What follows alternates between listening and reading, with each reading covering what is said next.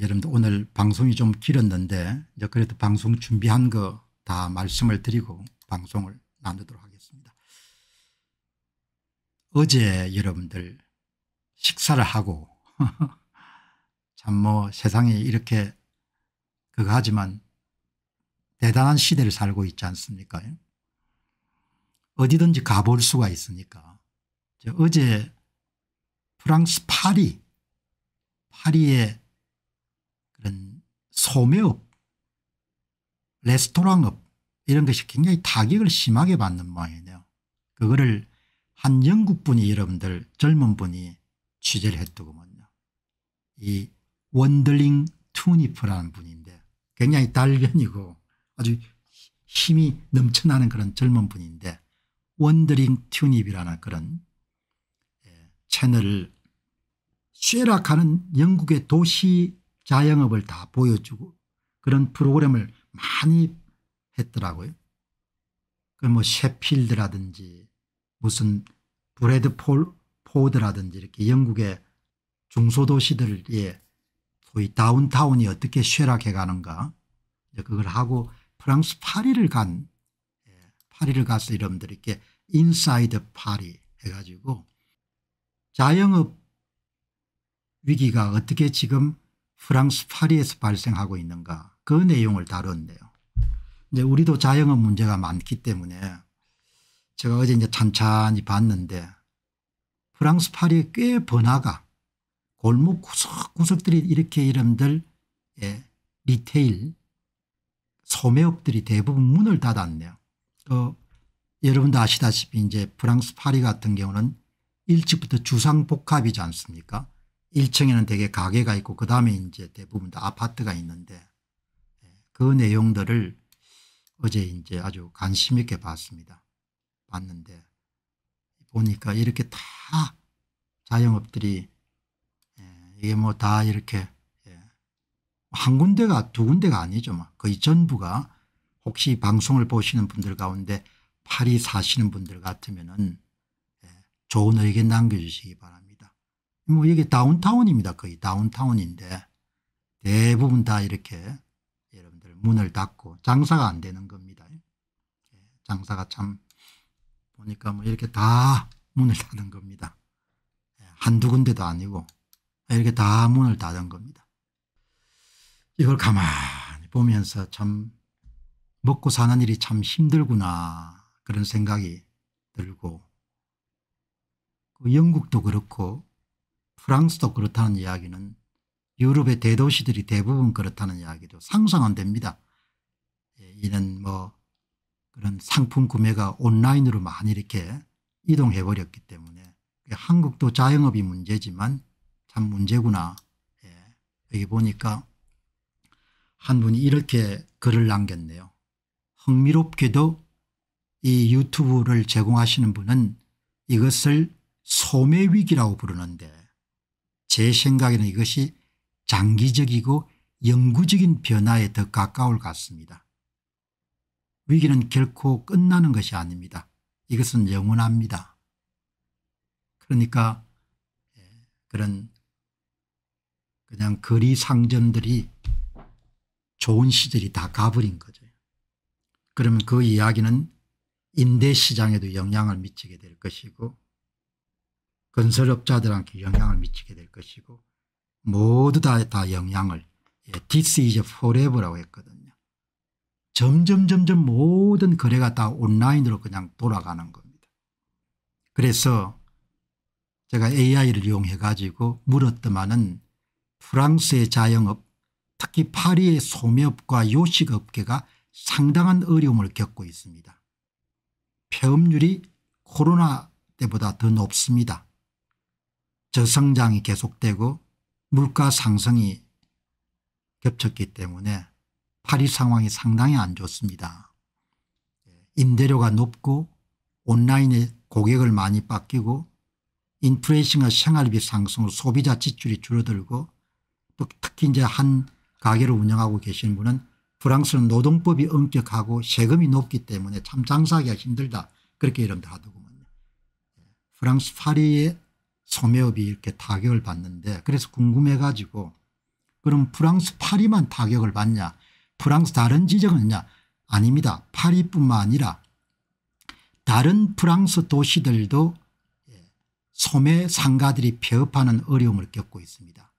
예, 그러면 이렇게 폐업하게 되면 은 가게 주인도 여러분들 상당히 피해를 받게 이게 파리의 거의 전부는 아니겠지만 대부분의 지역이 이렇게 소매업들이 타격을 받은 것 같아요. 그런데 예, 파리뿐만 아니고 프랑스 다른 도시도 그런 거죠. 물가난 그다음에 저성장 뭐 이런 것도 중요하겠지만 아마존이 크게 영향을 미쳤을 거다 생각해 가지고 물어보니까 아마존이 프랑스 리테일 상가에 소매 상가에 미친 영향은 상당히 큽니다. 아마존 같은 전자상거래 기업의 성장으로 인해 전통적인 오프라인 가게들이 큰 압박을 받고 있습니다. 이게 굉장히 큰 것 같아요. 그러면 이게 뭐 근본적인 변화니까 그냥 쓰나미처럼 썰어버리는 거죠. 네, 참 살기가 뭐 큰 변화니까 정말 그냥 뾰족한 방법은 없는데 뭐 적응하는 것 외에는 다른 방법이 없지 않습니까 앞에 3분이 말씀했다시피 crisis란 것은 일정한 기간 동안 발생하는 그런 어려움인데 이거는 crisis가 아니고 구조적이고 장기적으로 일어나는 영원히 일어날 수 있는 일이다. 그렇게 이야기하는 거죠.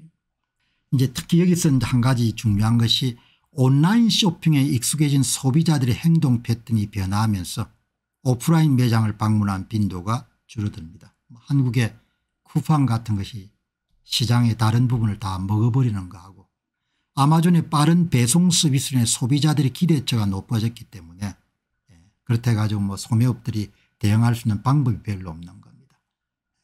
영국의 중소도시도 대부분 다운타운의 중노도시들 뭐 high street 예, 영국은 high street라는 용어를 많이 쓰네요. 미국은 main street라는 용어를 많이 쓰는데 예, 이게 다 없어지는 겁니다. 먹고 사는 일이 어렵네요. 아, 여러분 정말 갖고 계시는 재산도 예, 뭐 사람들한테 속지 않도록 사기가 아주 중요하지 않습니까 예, 노후에 사기 같은 걸 당하게 되면 은 재기하기가 참 어려워지죠.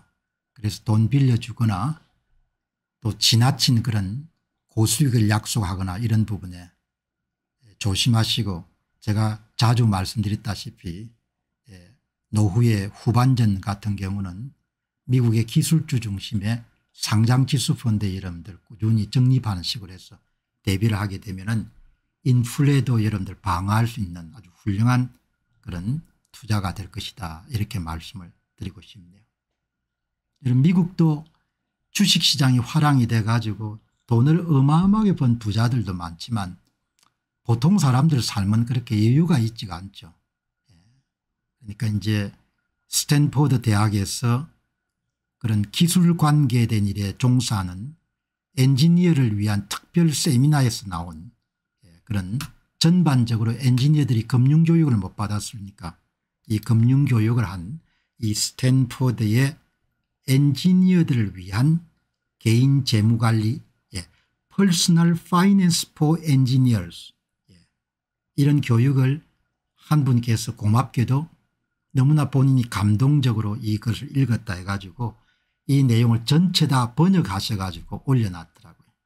이제 뭐 자산을 운영하는 방식 그다음 부동산을 구매하는 방식 그런 많은 것을 여러분들 딱 정리해 가지고 혹시 더 필요하신 분이 계시면 이 스탠포드의 엔지니어들을 위한 개인 재무관리 강의 이렇게 검색하셔 가지고 한번 읽어보시기 바랍니다.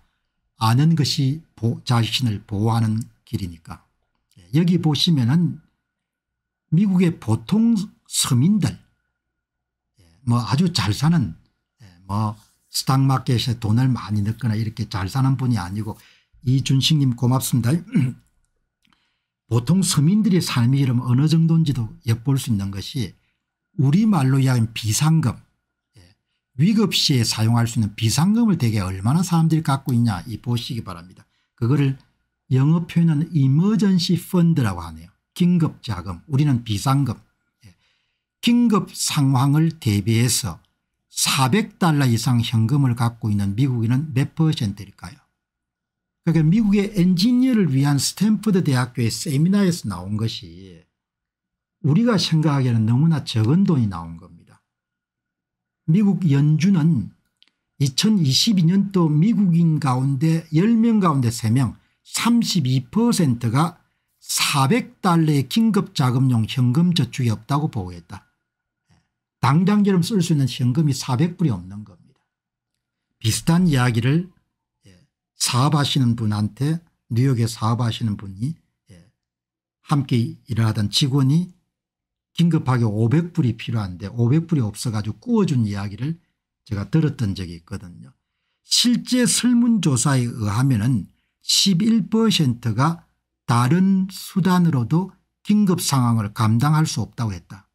이게 우리가 보는 미국의 이런 보통 서민들 서민들도 이렇게밖에 안 되는 겁니다. 그러니까 우리가 어렵다 어렵다 하지만 오늘 프랑스 파리나 다음에 기회가 되면 영국의 셰퍼드나 이렇게 이런 중소도시들도 한번 소개해 드리려고 하는데 다 사는 게 이렇게 빠듯한 겁니다. 그 400달러의 긴급 자금이 없는 사람들이 캐시가 400불이 없는 겁니다.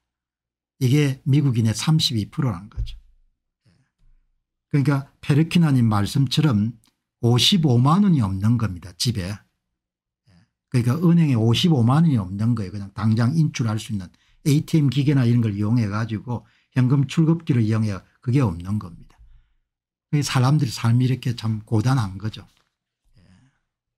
그래서 제가 이제 오늘 방송하시면 방송 드리면서 이제 뭐 이런 음, 시사적인 문제도 자주 이야기하지만 제 자신이 이제 나이를 먹어가니까 오늘 방송 보시는 분들에게 그런 재테크라든지 자산을 운영하는 거라든지 이런 부분을 젊은 사람들만큼 재기발랄하지는 않지만 제 경험이라든지 지식에서 우러나온 이야기를 자주 정리해서 말씀을 드려야겠다 이렇게 생각합니다. 그러니까 우리가 위로 보게 되면은 뭐 다 부러운 것뿐인데 이렇게 세상을 예, 다른 나라나 이렇게 보게 되면 동시대를 살아가는 사람들 보게 되면은 우리 형편에 대해서 그렇게 뭐 크게 여러분들 좀 불만스럽게 볼 필요는 없지 않겠느냐. 어떻든 간에 예, 노년은 사기라든지 기만 그런 스캠